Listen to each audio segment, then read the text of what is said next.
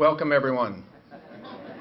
Well, it is uh, a great honor uh, to welcome you here today for one of our great ceremonies uh, that the city of Columbus has, one of the great honors that can be bestowed upon anybody. And so, having it here at the Columbus Foundation, which is unusual, hasn't happened uh, ever before, uh, is a great pleasure for us to be associated in any way with uh, such a great uh, ceremony. You know, last week, I would assume many of you know, many of you got many emails associated with it. Uh, we had something called the Big Give in this region, and uh, people were very, very generous. They supported the people who in this community can use the support. They not only were generous themselves, but they were participatory in the building of a better community. And so both things, I think, are worthy of celebration. And so it's not even a week from the, the big give. And I'd like to use that theme to just say, uh, on behalf of the Columbus Foundation, what a big honor uh, it is uh, to have you here today, to have these honorees celebrated here today. And by way of introduction, uh, to have the great Andy Ginther, who I was really depending on not wearing a tie. so he walks into the room. Now, how many times have you seen him wear a tie? All the right times, all the right times. But I was thinking maybe you wouldn't do the tie. I want to defer to the boss. And uh, so here I am in my, uh, my embarrassing informality but in any event, I just want to say uh, uh, in front of all of you and anyone who may be seeing this later what great respect we have for uh, Mayor Andy Ginther. What a difficult job it is to lead a, a, a, city of our size, of our dynamics, and of our growth, to seize opportunities, but to share opportunities and be committed to the full range of the people in this community. He does it with the plum, he does it with skill, he does it with finesse and he does it with empathy. So, ladies and gentlemen, Mayor Andy Ginther.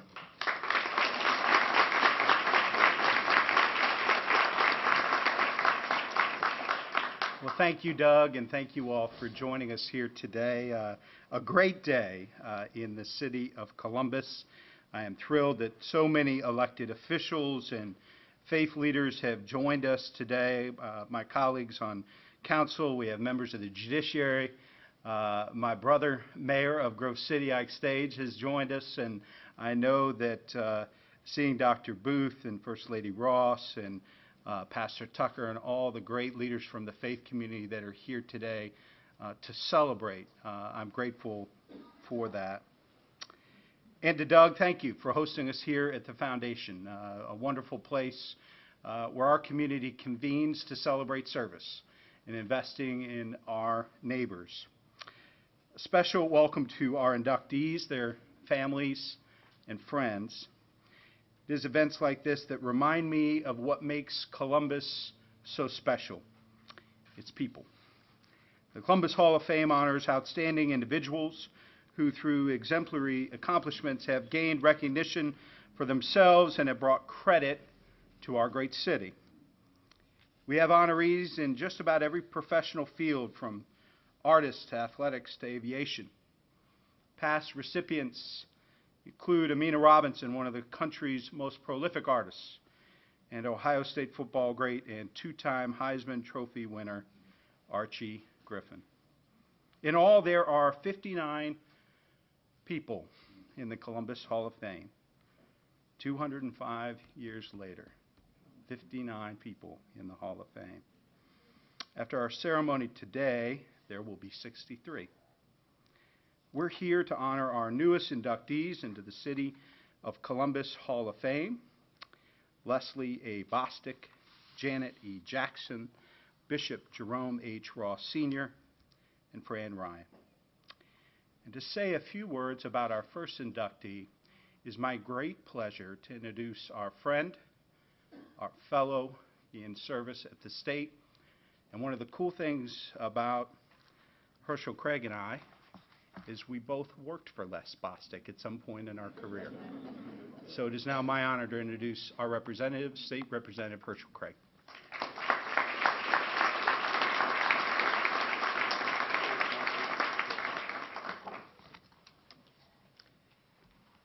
As the founding executive director of Buckeye Ranch, formerly Buckeye Boys Ranch, for 40 consecutive years, Les has dedicated his adult life to aiding troubled children and families. Les was one of six children from a working class family, born and reared in a farming and textile community in the Piedmont region of North Carolina. He holds a Bachelor's of Science degree and a Master's of Social Work degree from Richmond Professional Institute of College of William and Mary, as well as a PhD from The Ohio State University. Starting with a dream, Les created a model residential campus with a nationally respected program for the care and treatment of emotionally, emotionally behaviorally, and mentally challenged children, children and and adolescents. It is no small measure of pride that the ranch has been able to raise private funds to build a truly outstanding campus and increase the land mass for 75 acres to approximately 100 acres without creating debt or obtaining a single, single line of credit. During the latter stage of his leadership, Les raised over $4 million to fully fund the construction of the Hughes Family Life Center, uh, the Kroger's Equestrian uh, Therapy Center, and the Mary Dunn Administration Center. In a major restructuring of the ranch in 1997, Les was appointed president and CEO of both a new holding company and the Buckeye Ranch Foundation, where he assumed a leading role in establishing a board of directors for the foundation consist, consisting of 40 or more members. In 1997, he engineered the acquisition of Square One for youth, which increased the number of children served by the ranch on a daily basis from 200 to 400, adding over 100 foster uh, treatment homes to the comprehensive care system of the ranch. Following his retirement in 2000, Les formed Making Connections, a nonprofit corporation to continue open, opening doors of opportunity for disadvantaged children with severe dental, facial, or other disfigurements. All of that is just a fraction of his accomplishments. Les has assumed a leadership role in Central Ohio community and has received numerous recognitions for his exemplary service uh, to this society. In 1997, Les was honored with the Columbus Foundation Award. This award recognizes outstanding vision and achievement and is presented annually to individuals that have made a significant difference in the quality of life in their community. Les has twice uh, been the recipient of the Governor's Award to Ohioans. First, in 1974, he was honored with the award by Governor John Gilligan. And in 1998, Governor Voinovich presented Les with the award. This award is the highest honor that the Ohio governor can confer upon any individual or group. Les has received uh, the 2001 award for outstanding community service to Columbus and Franklin County, presented by the Alcohol, Drug Abuse, and Mental Health System. Les is the father of two children. Why don't they stand? Why don't y'all stand up? Lisa and Parole of Washington, D.C., and Jeff Bostic of Seattle, both of whom are here today. But let me add a personal note to this as well. The book of Micah lifts this query. It raises this uh, interrogative What does the Lord require of thee? The word comes back to do justly, to love mercy, and to walk humbly before the Lord. Lest among our successes over these 45 years, we have had some dark days in our lives. But through it all, there has been no one with whom I have loved more and valued your friendship more uh, in this world. Thank you for your extraordinary, uh, extraordinary commitment to service and to this community, and certainly your dedication to your family uh, and to be my friend. And as I close, dreamer, continue to dream on. Know that I love you, and we are praying always with you. I love you, your brother from another mother.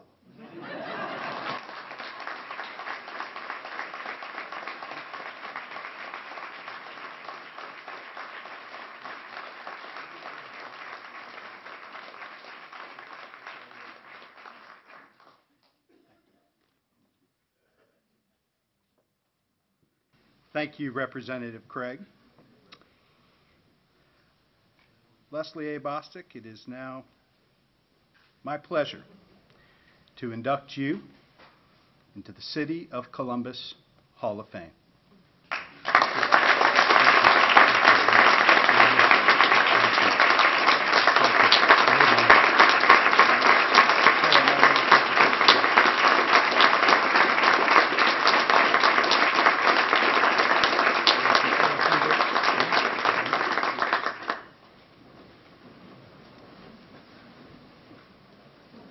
Doesn't get any better than that. Um,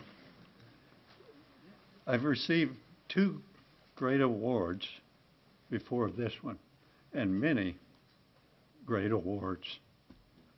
I thought when I received the great honor of having been, uh, have the, the sword over my shoulder to receive a knighthood in New York City with 20 people having been selected from all over the world. So I thought, that's pretty good. Uh, and number two, to have had the great pleasure of serving and being honored by the Central Ohio uh, USO. We're following my 40 years at the ranch, joining the the USO board, then serving for three years as president of that board. I thought those were probably the greatest awards I had received. And now, back home, here, Grove City and Columbus and Central Ohio, to receive this award, there is, for me, no greater honor. Thank you, Mayor.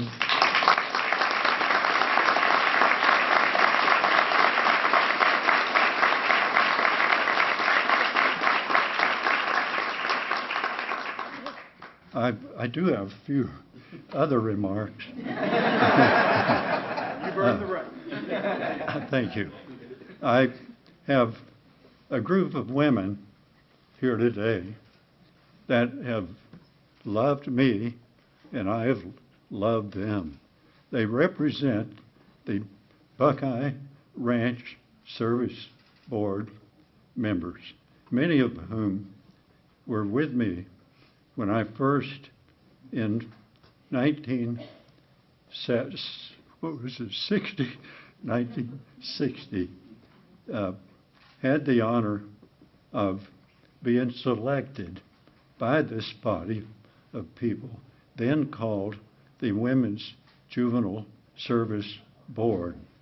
They were the spinoff of the Columbus Boy Choir that was stolen away in the night to move to Princeton, New Jersey, because they were offered a lodging in a wonderful mansion, plus housing, food, etc.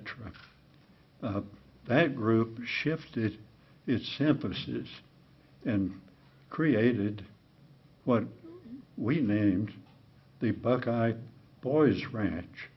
And from that day forward, this group of women, about 200 in number, many with uh, wealthy uh, means that could help us get started.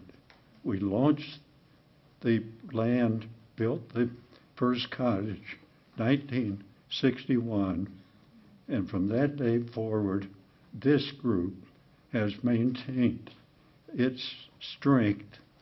And I would like to ask each of you, Service Board, to stand up.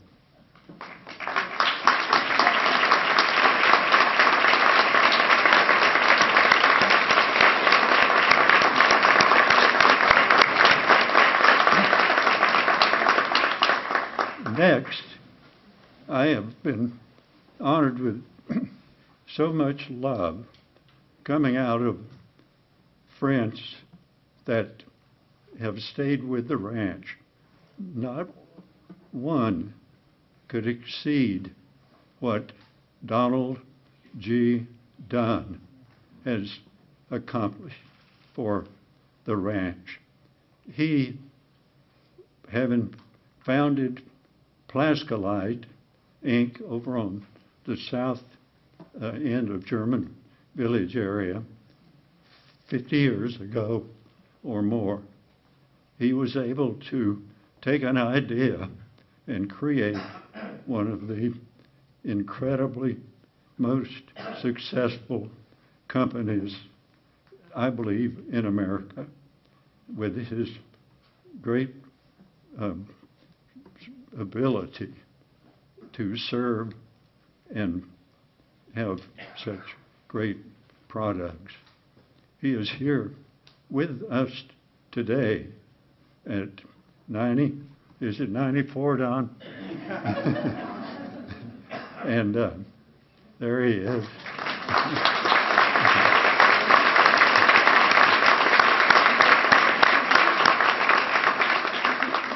and he today, uh, like our wonderful Herschel, uh, he and I are almost blood brothers.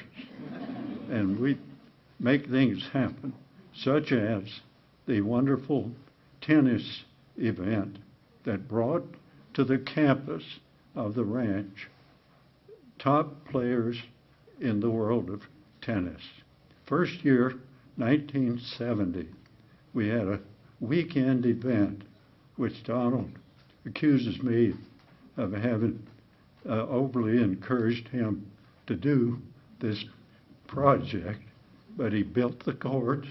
He got George Skastis and others to build the stadium.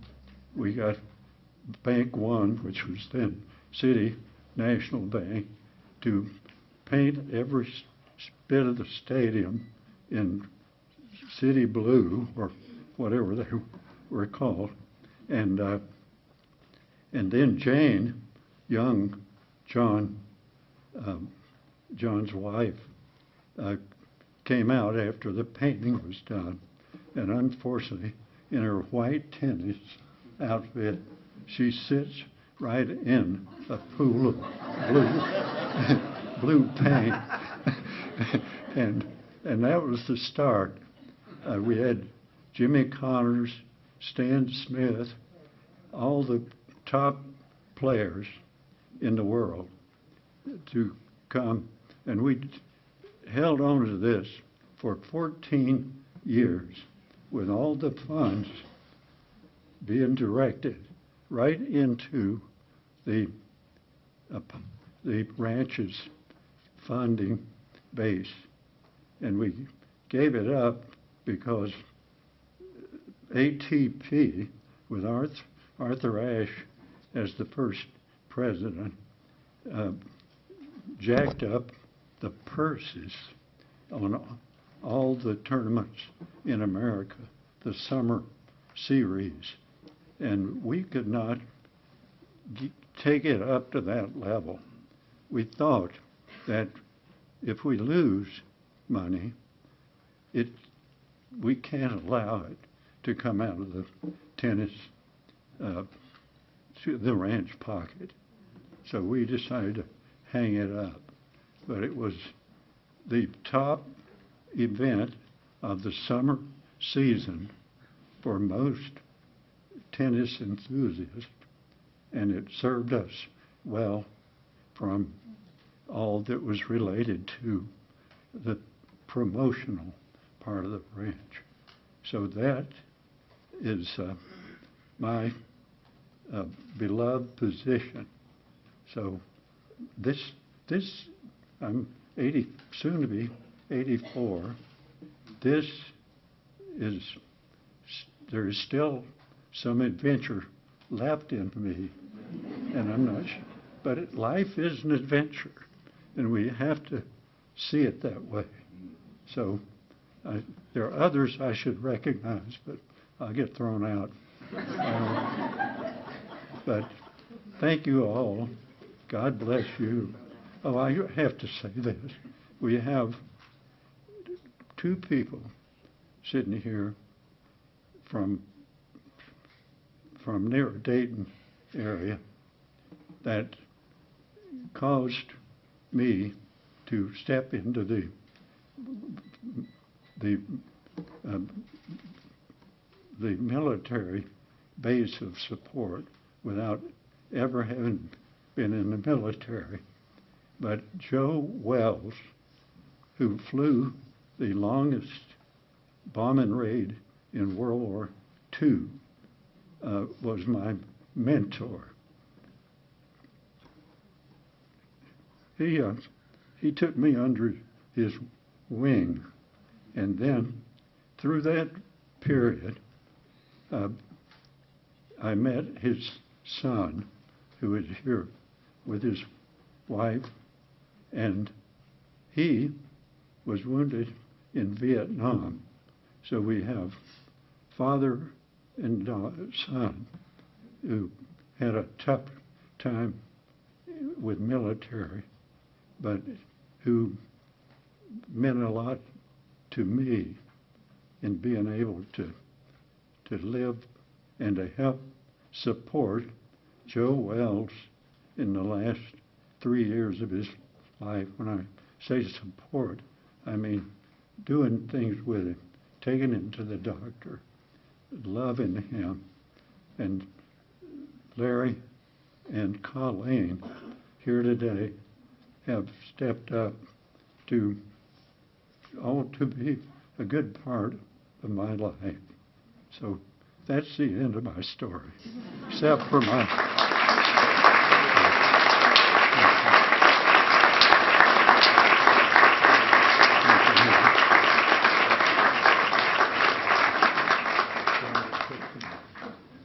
And on behalf of the tens of thousands of kids and families uh, that you've reached uh, during the first part of your adventure, since you still have more to go, this community says thank you.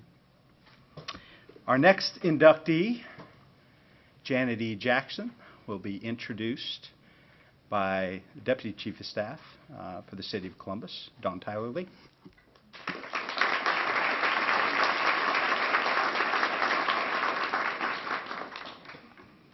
Janet Elizabeth Jackson.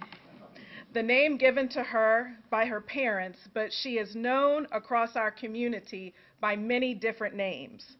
Trailblazer. Most of us are familiar with the trails she's blazed and the glass ceilings she's shattered all throughout her career. Like when she became a municipal court judge, making her the first African American female judge in Franklin County history or when she became the first woman and first African American elected to serve as the Columbus City Attorney. And of course, as the first woman and the first African American to lead United Way of Central Ohio. But her trailblazing days started much earlier when she was one of the first African American students to integrate Randolph Henry High School in Charlotte County, Virginia. The word first is not foreign to a trailblazer like Janet Jackson. Some call her a champion of diversity, Before it was popular, Janet was unwavering in her commitment to issues of equity, fairness, justice, diversity, and inclusion. During her tenure at United Way, she created affinity groups like Key Club, Pride Council, and the Women's Leadership Council, offering African American, LGBT, and women donors a unique opportunity to elevate issues important to them while simultaneously supporting the work of United Way. Janet also worked diligently to ensure the diversity of her staff and board, but not just the United Way board. Through the creation of Pride Leadership and Project Diversity Leadership programs, she has helped to ensure that those historically underrepresented on nonprofit boards have a seat at the table. But there's another way she's a champion of diversity that may be a little less known in the variety of places she shops. she frequents Saks at Polaris and the Cheesecake Boutique in Upper Arlington, and one of her all time favorites is Big Lots. Yes, Big Lots. And she talks with great pride about her Big Lots valued customer card. She is a true champion of diversity in all areas of her life. Some call her one of our regulars because she is a regular at Lindy's in German Village, where she, where she used to be found courting donors, or in some cases, holding court at table 20, a regular at the top, and a regular at the Grill and Skillet, where you might find her having a good breakfast after her morning workout. Janet is a regular. She is called influential. For the last 14 years, she has influenced individual and corporate donors to invest millions annually in the work of United Way. But her influence has touched a more unlikely group bartenders. All across this city, bartenders have been influenced by Janet.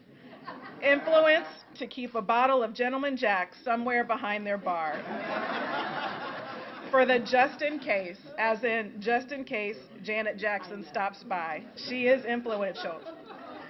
We all know how she feels about her alma mater, so the Wittenberg community calls her a tiger and a member of her, their board of trustees. My very own husband calls her one of his favorite cooks and tells anyone who will listen, and I quote, Janet Jackson makes the best chitlins I ever had. Her family calls her devoted. She is a devoted sister, daughter, aunt, great aunt, and of course, mother. If you've been with her for any period of time, you've heard her beam about the love of her life, her son Harrison. She is called a visionary. We know this by the numerous bold steps she's taken throughout her career, including shifting all of the work of United Way to become laser focused on reducing poverty in our community at a time when the word poverty was not part of our community's vocabulary. But in this instance, I don't mean visionary in that sense of the word. Raise your hand if you have ever, willingly or unwillingly, been coached, mentored, advised, or even reprimanded by Janet Jackson. Those of us who raised our hands call her visionary because she has this uncanny ability to see your possibility and your potential before you can even see it. I am forever grateful for the potential she saw to, in me to lead work I didn't know I was capable of leading. There is a tradition at United Way that when a team member leaves, staff submits words to describe the outgoing team member, and they're presented with those words beautifully arranged on a United Way branded color frame. The words on Janet's frame won't come as a surprise ally, advocate, authentic, bold, career builder, change agent, a force of nature, innovator, inspiring, motivator, no nonsense, passionate times 100, 100% real, wise, someone you want in your corner. Yes, this community knows Janet Jackson by many names, but my special name for her is Boss Lady. And even though we no longer have a formal employer employee relationship, this is what I will always call her because I have a feeling she'll be bossing me for many years to come. but let me be very clear my favorite boss now is Mayor Ginther.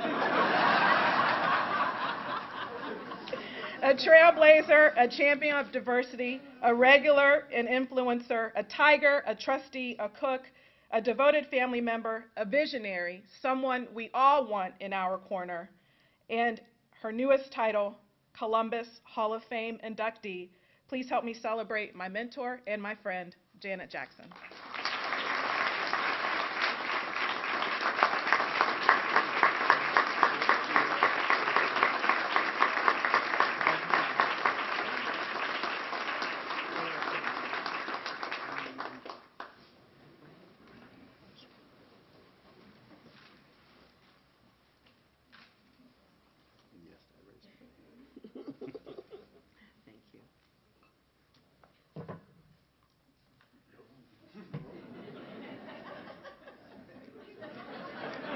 Vertically challenged is another word we could use. Thank you, Dawn, to my mayor, to the clergy, to my fellow inductees, to community members, and to the best family that anyone could have. It is such a privilege to be with you today, and I am truly humbled. I have had an amazing 12 to 18 months as I was on uh, the Janet Jackson farewell tour from United Way. And so you've heard me speak on a number of occasions.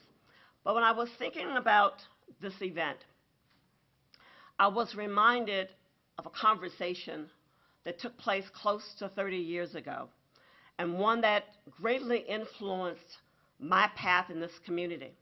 You know, I came to Columbus as a young lawyer in 1978, working for Attorney General Anthony uh, J. Brown. And most of you probably don't remember that I left Columbus and I moved to Cleveland to join the law firm. Certainly very challenging work, very interesting work, and to be honest, it paid a lot more money. but I was making the decision to move back to Columbus, and I called a dear friend and mentor. I was feeling a little nervous about which path I was going to take as I came back to Columbus. You know, I had this thought in my head that if I went back into the public sector, some people might see that as she couldn't cut it in the private sector. This is what you do when you can't work in that arena. And this very special friend said to me, Janet, don't worry about what others may think. Follow your passion, follow your heart. And I did that. And I've done that since I moved back. Each and every one of you have probably played a major part uh, in that path that I've been on. Whether you helped me get elected back in 1987 when I wasn't supposed to, when I wasn't supposed to become the Columbus City Attorney. And I think you were there to support me as the president of United Way. You can rest assured now that I haven't asked anyone for money since March. so you are free to invite me to your homes or to your dinner parties, and I promise I will not ask you or some unsuspecting guest that I'm talking to to write a check. But one of the things that Dawn touched on has always been important to me, and it's more important to me now than ever. Uh, I sometimes say that I'm that old, uh, that person that had the, all of the children, you know, Mother Hubbard, and I feel that I do. But one of the things I want to say, especially to the younger professionals who are in the room, and those who aren't in the room because maybe they're still a little too young, with all that's going on across this country, when I am sometimes embarrassed to say that I was ever a politician, and to me being a politician was not a dirty word, it's so important for us to reach out to our young people, to encourage them to become a part of this process, this democratic process. It's not going to work and it's not going to change unless we nurture the best and the brightest and to have them pick up the mantle and move forward. Again, I'm humbled and I'm so pleased. And Mayor, thank you again for that phone call.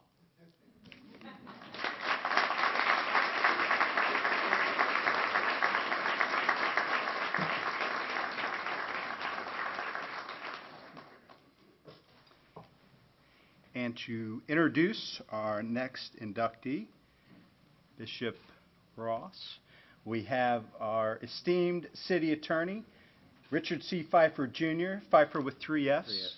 And uh, we are so thrilled to have you be here and participate in this. Thank you. Hey, Pat. Hey, Pat. Come over here. Come here. Come here. Come here a second. I want you to hold on. You, we've got to see what makes a team here. Uh, good afternoon. Uh, there's a little church out on West Third Avenue called Triedstone Missionary Baptist Church.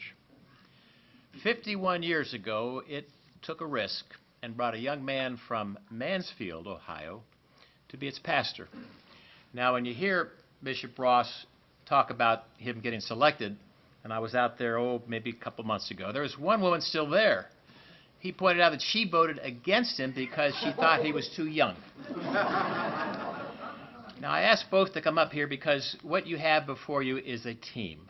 Jerome Henry Ross Sr. and his wife, first Patricia Johnson, now Patricia Ross, is First Lady. They have a son here, Jerome. So the Rosses are parents of two children and grandparents of four. What you need to know, and I see uh, Pastor Tucker is here, who succeeded Bishop Ross at the church. Uh, how do you talk about people who are people of faith, who are faithful? Uh, 50 years at a church, 50 years of marriage. That's faith. That's faithfulness. But beyond that, what did this short man, barely as tall or taller than his wife, but you have heels on, so I guess that's all right. Bishop Ross, I heard him preach several times, and he once said to a new preacher who was taking over out at uh, Friendship, You have to preach the word. You preach. What's so outstanding about Bishop Ross is really this he doesn't rest. In fact, now that he's retired, he still goes out and preaches at various churches. And he always has a message. And one of the messages he gave not too long ago out at Corinthian was a quote from Mark where he talked about going up to the mountain. And he said, I went up to the mountain and God called me. And I'm glad I accepted the call. But it really happened early in his life, up there in Mansfield. 1954, 15 years old, he felt the call, and that he pursued. But really, before he was 15, as Pat and others would tell you, he used to have church all the time. As a nine, ten year old, we'd get kids around and, and preach to them. now, not only is he known here in Columbus, Ohio, for the things that he's done, but he's known internationally. Mm. Back in 1994, an organization called the Full Gospel Baptist Church Fellowship was formed. And in 1995, he was ordained a bishop in that organization, an organization now that has over 800 churches. Then in 2012, he formed another organization called Kingdom, Kingdom Connection Fellowship International. Right now, that organization has 100 churches and is in the Bahamas and is in Nigeria. And I think when you think about preachers, you think about the recognition they get from their peer group. Down in Atlanta, there's a school called Morehouse. And that school has a institution called the Martin Luther King Jr. Board of Preachers, or more popularly known as the Preachers Hall of Fame. In 1998, Bishop Ross was inducted. What does it take to get into the Preachers Hall of Fame? Well, it takes a combination of things personal piety, religious civility, keen intellect, and a commitment to faith bearing witness to various forms of social justice, equality, and human rights. Now, Pat, would you please sit down because we're going to let this person talk alone. The last thing I remember him saying when I heard him preach last was, if we would just pray a little more. I give you Bishop Henry Jerome Ross Sr.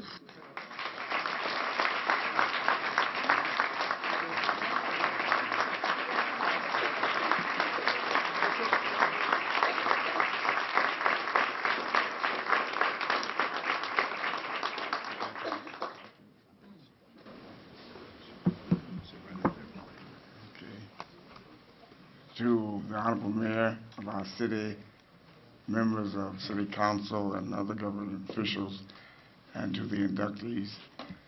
Uh, They told me I had two minutes. And I listened to everyone, and I said, wait a minute here. And then, you know, it's kind of dangerous to put a preacher behind a podium. We uh, get kind of antsy, kind of busy, and uh, if something hits me, you'll be here a moment. but I want to thank the mayor and those who are responsible for this great honor. In 1966, uh, I came from Mansfield, Ohio. I thought God resided in Mansfield. I thought that was his headquarters. Uh, but since arriving in Columbus, Columbus has become my home. And I've had many honors, many achievements. But today I'm highly honored and humbled by this award. Columbus now is my home. Thank you, Columbus.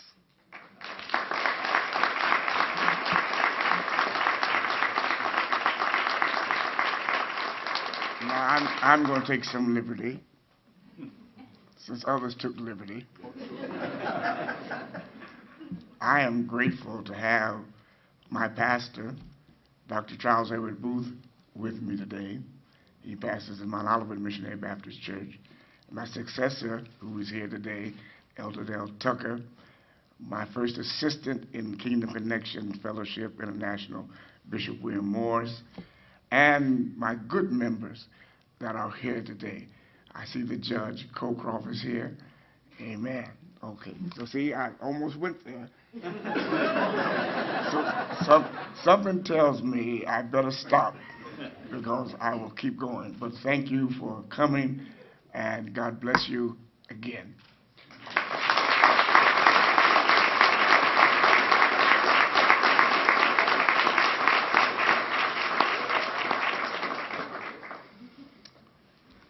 Bishop, uh, we are grateful for all that you have done, you and the First Lady, uh, but under your leadership, the impact you've had, not just in Milo Grogan, uh, but on parishioners and neighborhoods throughout our great city. Thank you. And for our final inductee, uh, we will be joined by Council President Zach Klein to introduce Fran Ryan.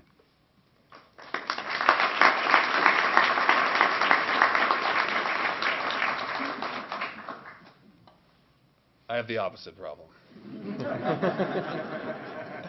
well, good afternoon, everyone. How y'all doing? Uh, it is my honor uh, to stand here among such a distinguished group of people that are in the audience, but also uh, a distinguished group of inductees. Congratulations to Les, to Janet Bishop, and to our final inductee, uh, a good friend of mine who many in this room know, and that's Fran Ryan. Uh, Fran has had a long-standing commitment to the city of Columbus. She served on Columbus City Council in 1971, served as the council clerk from 1981 to 1987, and if it wasn't enough, she came out of retirement to serve on Columbus City Council again in 2015. Her most notable work on council, if you've ever been to council chambers, is the beautiful restoration that was done. That was all because of Fran Ryan, as well as her funding and founding of the Franklin County Metropolitan Human Service Commission. She is also a woman of firsts. She was the first woman to chair the Franklin County Democratic Party, as well as the first woman to be the director of the Franklin County Board of Elections. She has spent time in service in the federal government as a liaison to the United States Department of Labor, as well as, and this is what we all know her, her advocacy, her zealous uh, commitment, her tireless commitment to seniors as the Senior Services Coordinator in the City of Columbus. This is not the first award that Fran has ever received. She has been the Sunny 95 20 Outstanding Women of 2016, the YWCA Women of Achievement, and the WSNY 20 Women You Should Know. I can say that in 2015, uh, and I think my council member colleagues, many of whom are here, can attest to this, we had an unexpected vacancy on city council. Uh, and it was a six month stint that we needed someone of high credibility, of loyalty, of dedication, of integrity to step into that gap to fill an unexpired term for six months. And I can say that we sat and talked, and very quickly one name came to mind, and that was Fran Ryan. Fran has taken service above self to a new level in her commitment to the city of Columbus. And there isn't a part of the city of Columbus that Fran Ryan has not positively touched and changed for the better. So, ladies and gentlemen, my good friend, Fran Ryan.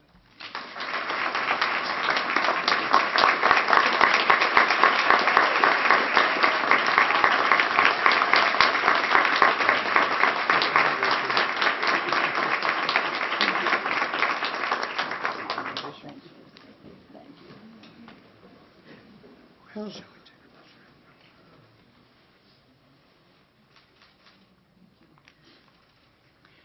I just want to say uh, a quick word. So Fran and I were uh, at Poindexter last week as we were announcing in partnership with Councilmember Tyson and council members the saving of the last two buildings at Poindexter to devote uh, as an African American History Museum uh, uh, in the years ahead.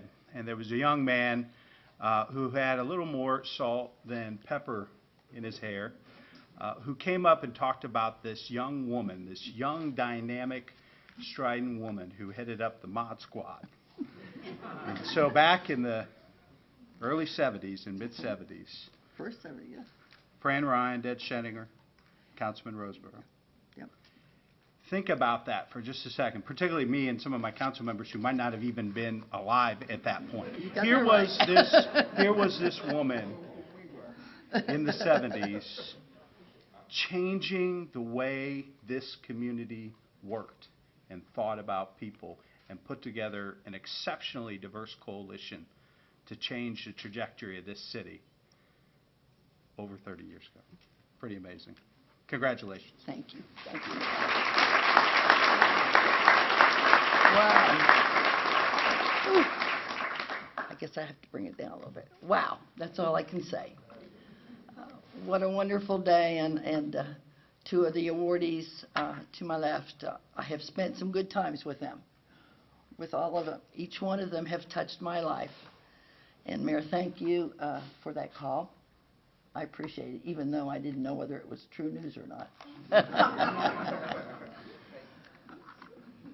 I look around this room and I see uh, how I got here and what, what made me get here and who helped me get here.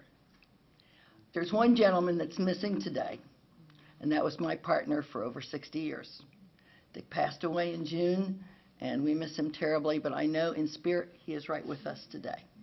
He was a big part of the things I did, the things I thought about, the changes we made. Both of us uh, were active together in many things, and we had a wonderful ride. And I'm here today to thank my children.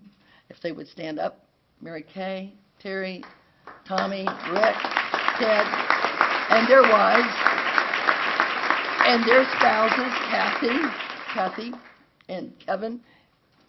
They're all a part of my life, and my grandchildren, Libby and Joe. Where's Joe? And Kyle. And I'm going to be a great grandmother soon. Oh, April, April, April, April, April. But if you can imagine and look back 30 years, and I remember Mary Kay holding the Bible for me in the city council chambers with Jim Roseborough's son, and there they were together uh, in knee socks and whatever, and Mary Kay with her boofy hair, which she she hated, hated, wouldn't wouldn't tell me that to my face, but she hated it.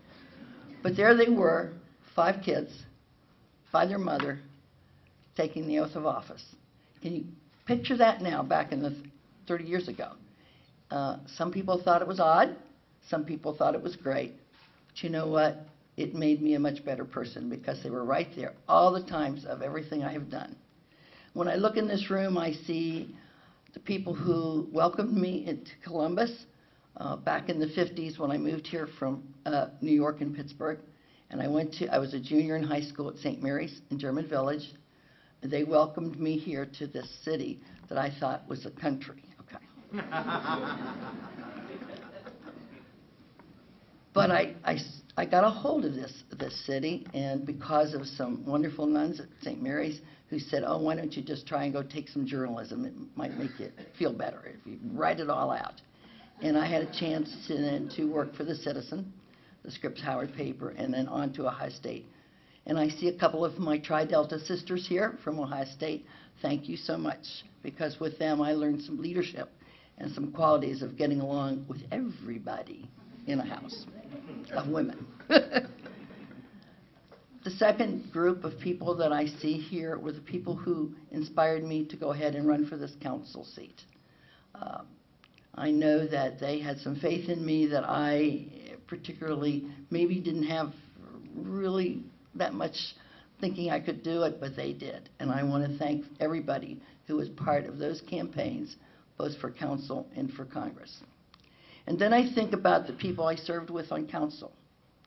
the Schedingers, the Petries, the Roseboroughs, the, the doctors, the, the the Jerry Hammonds, the people who inspired me to do better every day and who loved this city more than anything in the world.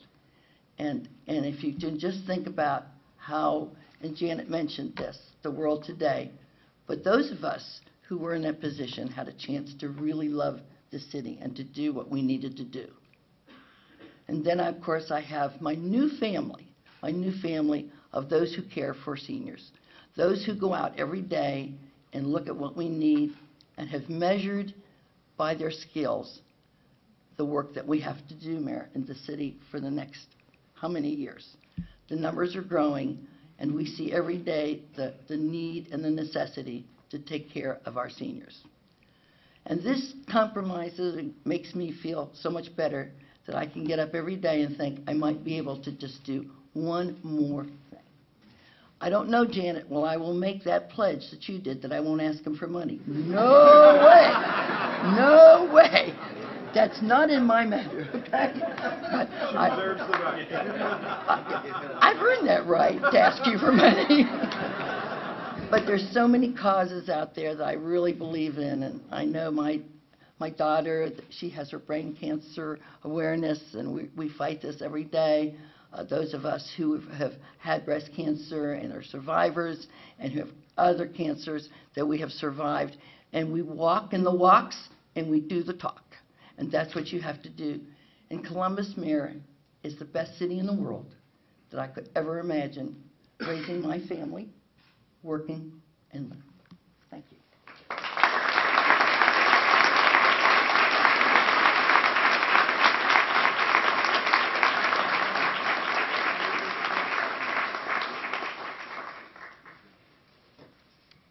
Well, it's uh, pretty incredible to think about the fact that, you know, you know, Fran Ryan and, and Janet Jackson um, took their oaths a couple of years back, and it may have been newsworthy, might have been uh, out of the ordinary, but it's because they took those oaths and they served the way they served that now when President Pro Tem Tyson, Councilmember Liz Brown, Judge Paley, Judge Moorhart, Senator Kunze take their oaths, it's not that out of the ordinary anymore.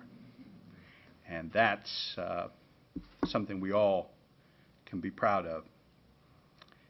Well, friends, this is a pretty distinguished group of our neighbors.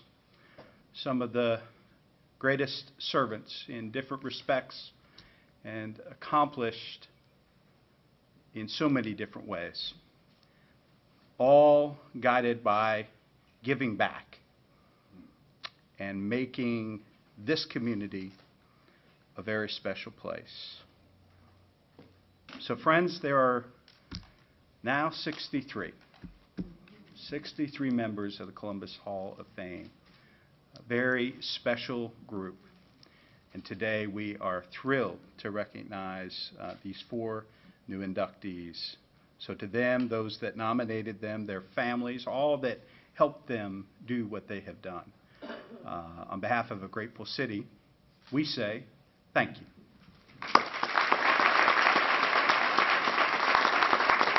pousse, pousse.